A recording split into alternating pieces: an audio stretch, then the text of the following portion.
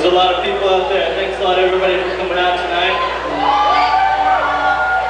And uh, this next song is a song about unity for uh, it's about looking over your shoulder, turning the other cheek.